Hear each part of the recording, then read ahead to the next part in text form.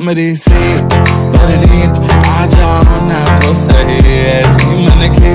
है सच्ची तुम हो सितारों के परे हुई गलती। सॉरी हमने गाया, तुम क्यों सुनी? किसकी मर्ज़ी?